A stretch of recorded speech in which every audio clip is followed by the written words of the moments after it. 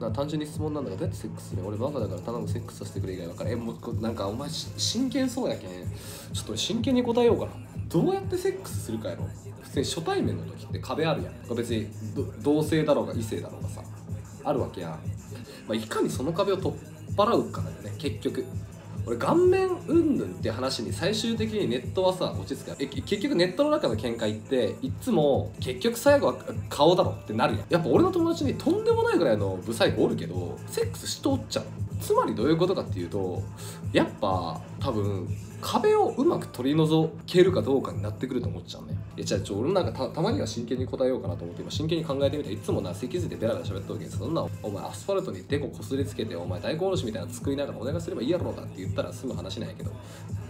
けどなんか想像以上になんかしっかり聞いてきたけん。なんかたまにはちゃんと答えようかなと思ってさ。いや最近、まあ、結局俺がなんか自分の体験はさておき周りの人間を見とってね。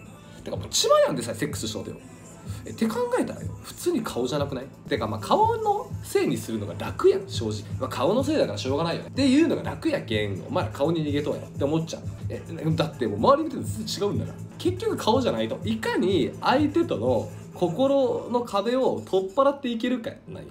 多分ねこれねコミュ力と清潔感と思うよ。コミュ力の方が大事ねってか多分どっちかっていうと。清潔感のが2やん千葉にはめちゃくちゃセックスしてるから。ねえ要はコミュ力ない。よどうやったらセックスできるかじゃなくてどうやってコミュ力を上げるかにシフトチェンジした方がいいと思う。